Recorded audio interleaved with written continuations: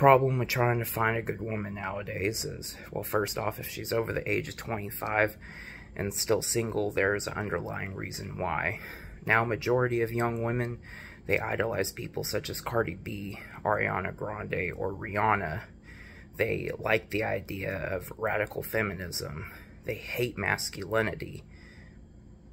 Uh, they, here's the thing, they have trouble thinking for themselves. They're basic in their thinking. Uh, they don't like taking care of themselves. And if a woman can't take care of themselves, how is she ever going to take care of a family or raise a child?